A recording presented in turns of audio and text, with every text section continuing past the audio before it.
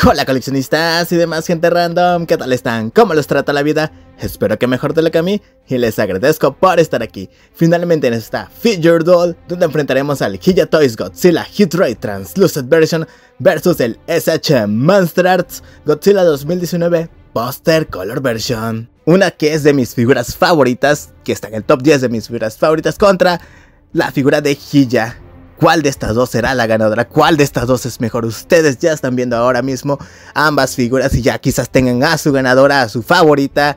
Yo tengo a mi favorita, pero vamos a ver si realmente es mejor que la otra. No es que le vaya a dar favoritismo, es solamente es que vamos a analizar cada punto y detalle de cada una para ver cuál figura es mejor y cuál quizás te convenga más si quieres alguna recomendación de cuál de las dos conseguir. Así que sin más sabiduría comencemos ya con la presentación de cada una. Empezando con la presentación de Hilla Toys, que en este caso, aceptando que es increíble que este caso haya, haya hecho una genial presentación en su caja, no como otras versiones que ha hecho, que son prácticamente copias de NECA y... ¿Cuál era la otra marca que hacía? Lo olvidé totalmente. No, no era Jax, era... En serio, olvidé esa marca que hacía tan mala era. Playmates, ya, ya recordé. Y sí, esta vez se han tomado su propio diseño original y les ha quedado bastante genial esta presentación, la cual es bastante llamativa y muy genial. Aludiendo que es de la película Godzilla vs. Kong, pero si hubieran puesto Godzilla King of the Monsters, también habría estado bastante genial. Y por el lado de SH Monster Arts, la presentación está bien y ya. Mostrando la figura totalmente traslúcida ya. En este caso es, se me hace un... Para lo genial que es esta figura, se me hace una presentación muy me, muy sin chiste, muy apagada. Lo más genial son las partes de atrás, pero pues notas, pero para que te llame la atención es la parte de enfrente, así que en este caso la presentación, en este caso este punto por mejor presentación va para Toys. Claro que al final no te quedas con la caja. Bueno, hay gente que colecciona cajas, que nunca saca las figuras y eso es muy raro, pero eh, cada quien. Obviamente yo sí guardo las cajas, pero sí saco la figura pues para tenerla exhibida y por algo es que la estoy comprando. No estoy comprando cajas. Pero bueno, ya una vez viendo cuál te llama más la atención en la presentación, vamos a ver el precio de cada una. La figura de Hilla Toys costando actualmente entre 60 a 61 dólares hasta 65 dólares en precio inicial de 60 a 65 dólares, precio estándar y máximo recomendado pagar. Mientras que la figura de SH Monster Arts, pues sí es bastante abismal la diferencia. Que es prácticamente el doble actualmente. Unos 160 dólares. Bueno, no, eso es más del doble. Son 100 dólares extras. Bueno, entre, entre 160 a 300 dólares actualmente. Recuerdo que cuando ya la compré costaba 500 dólares. Como me odio, en serio. Pero era... Y de hecho hay ediciones quizás más caras. La edición completa está... Que es que es prácticamente agotada, actualmente con revendedores, es la edición completa totalmente de todo lo que ves aquí. Pero yo la compré quizás por el póster, es que me sale tan cara, pero bueno, era el 2021 y era cuando no me importaba gastar eh, para obtener las cosas en vez de esperarme a una rebaja o lo que sea. Así que totalmente es mucho más accesible y barata la figurejilla Toys, así que sí, totalmente. Y aquí va el punto, que aquí va la recomendación. Está mucho más barata esta, así que pues obviamente recomiendo más. Si quieres ahorrar, pues vete por la de Toys. Así de fácil. Pero si quieres, pero por la que más te guste, sé que te vas a ir al final. Lo siguiente es esculpido y pintura. Bueno, en este caso siempre combinaba ambos, así que en este caso va a ser la separación del esculpido y la pintura. Primero hablaremos del esculpido de cada una. Comenzando con Hija Toys, que es una figura bastante fiel a lo visto en pantalla, muy genial. Aceptando que se ven bastante pronunciadas sus articulaciones, se ve muy bien, eso lo resuelve con que está muy bien detallado lo demás. Y por el lado de SH Monster Arts, pues su, esculpido no es gran cosa. Es me. Lo único que lo ayuda en este esculpido es su pintura. Que por cierto, esto es un nuevo material, no un material eh, pintado encima ya. Es un nuevo material, lo cual hace ver muy genial. O sea, este nuevo material azul, genial, por cierto. Pero bueno, ahorita hablaremos de eso de la pintura. En este caso es y bastante frágil, de decirlo así es, no es tan genial este esculpido. Así que obviamente en el esculpido gana Hilla Toys. Wow, qué paliza le está poniendo a SH Monster Pero bueno, vamos ahora con el tema de la pintura. En la pintura de Hilla Toys en la cara, eh, solamente es una pintura sobrepuesta y ya, y es una pintura me. No es la gran cosa. Y en el tema de las placas dorsales es una pintura translúcida es un nuevo material también Pero al. Pero no. No me parece gran. pero, como diría Superman, nada impresionante. Si me lo preguntan a mí, lo genial es que es translúcido y ya. En cambio, en comparación con la pintura de SH Monsters, aquí sí noto bastante mejoría en SH Monsters.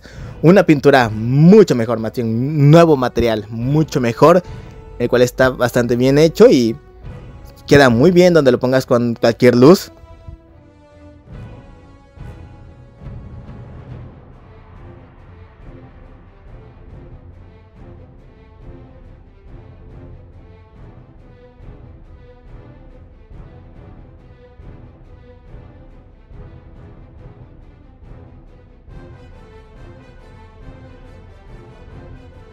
En este caso, mejor trabajo de pintura se lo lleva SH Monster Arts. No los puse juntos porque cada quien tenía su punto. Y sé que quiero creer que estarán de acuerdo conmigo en eso. Articulaciones. Bueno, ambas están muy bien articuladas, pero... Porque sí hay un pero. La figura de Killa Toys muy bien, muy genial las articulaciones. Pero SH Monster Arts, como dirían las chaviza, lo solea con este simple hecho. Sí, tal cual, algo que Hiyatois ni con su accesorio logra. SH Monster Art sigue teniendo mejores articulaciones que las demás marcas. Ya se está recuperando un poco SH Monster Arts, pero continuemos. Accesorios. Bueno, ambas tienen accesorios, los alientos atómicos. En ese caso de Hilla es otra cabeza y un cuello. Tendríamos que quitarle la cabeza y el cuello a Hilla para ponerle esto y ya ponerle su aliento atómico.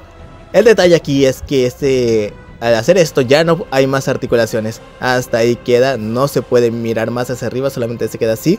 Quizás para recrear la escena de cuando está contra Kong. En el caso de SH Monster Arts, también es, es una mandíbula extra la que tiene para poder acomodarse bien el aliento atómico. Y esta sí puede hacerlo girar hacia arriba. Y también el aliento atómico es translúcido. Y, depende de la versión que te compres. En mi caso es esta que incluye el póster. Así que, ¿eh? totalmente en accesorios gana SH Monster Arts. Y sí, ya ha empatado. Así que SH se ha levantado. Continuando. Escalas o tamaño o como lo quieran ver. Sí, totalmente. Y ya se ha soleado en este caso SH Monster Arts. Dirán que el tamaño no importa, pero sí importa. En este caso, por ejemplo, que cierta figura esté mejor esculpida y esté más grande y esté más barata, la hace mejor en este caso. Así que en cuanto a tamaño, sí, se lleva este punto Hiya Toys.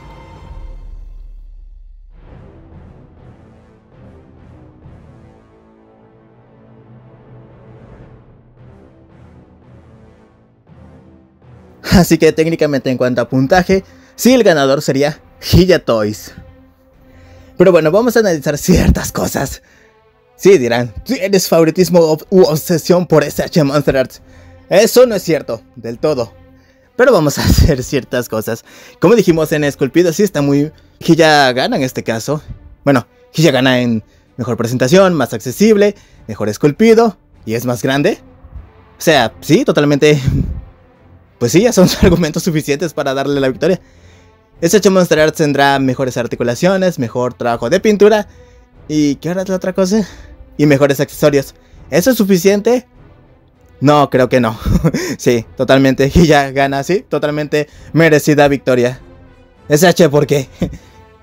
El problema de SH es que el esculpido puede mejorar notablemente. Lo sabemos porque ha hecho trabajos muy geniales en, en otras ocasiones. Así que ya puede hacer, digo, SH puede hacerlo mejor.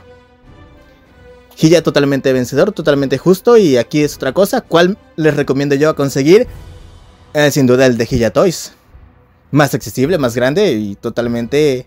O sea, tiene todo para que lo elijas. Totalmente, sí. Digamos que en cuanto a los...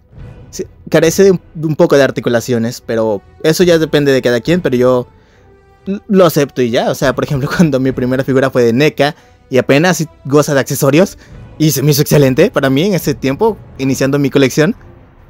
Pero ya si eres un poco más exigente o depende qué es lo que vaya a hacer o si no sufres por dinero. Yo sí sufro por dinero, no piensen que no, no piensen que porque consigo figuras a cada rato, no sufro por dinero.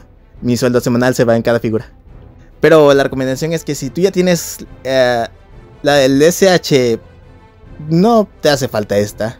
O si ya tienes esta, ya no te recomiendo el SH Monster Arts. Así que esto ya es cuestión de cada quien, de la figura que quiera conseguir, cuál figura es mejor para ustedes. Yo ya los di los puntos y creo que son puntos muy acertados para cada una. Ya ustedes decidirán y al final ustedes son los que van a decidir cuál obtener. Mi punto, ya saben, fue para Hilla Toys como total ganador. Lo siento, SH, pero pudiste haberlo hecho mejor. Así que sin más que decir, yo me despido, te agradezco por haber visto y nos vemos en el siguiente. Un fuerte abrazo y adiós.